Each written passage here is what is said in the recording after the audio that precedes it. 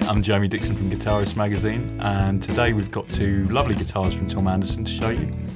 Uh, the first is this Raven. Uh, as you can see, it's got quite a retro looking offset body, uh, it's made of alder, it's a solid body, and the whole vibe is rather vintage. Uh, actually, it's got a number of refinements you won't find on old instruments, uh, including this VA switch, which is a kind of a voicing switch which Tom Anderson describes as a passive mid boost. Now, you won't find a battery in the back, so um, it's perhaps not a, a, mid boost in the sense that most of us would understand it, but it gives you a bit of extra mids when you engage it.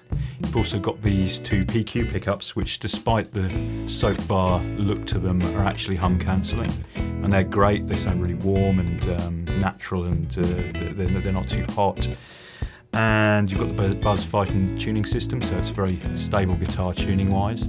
So this is a very refined instrument with vintage looks, which would be great for players who like that kind of thing. And we've also got the Tom Anderson Hollow Drop Top Classic as well. Now this is more of a kind of hot player's guitar, I guess. Uh, you've got a humbucker at the bridge and two single coils and a kind of raft of switching options which will let you access a whole bunch of different voices and again it's got the VA voicing uh, switch and the mid boost. So um, what we're going to do is show you these guitars in action and see what you think.